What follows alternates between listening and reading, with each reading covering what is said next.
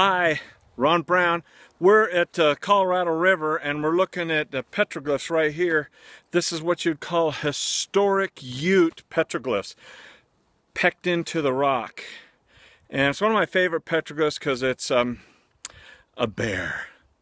Some people have asked me, they said, hey, uh, Ron, what is your favorite animal? And I'd say, hmm, I think probably my favorite animal is the elephant, but my spirit animal is the bear. Right there. That is one great petroglyph. Look at that. And you can kind of see there's a guy, he's got a bow and arrow. Let's take a look over here. And that's where it's at, the Colorado River. There's my friends. Rose and Cherie, and there's the Colorado River.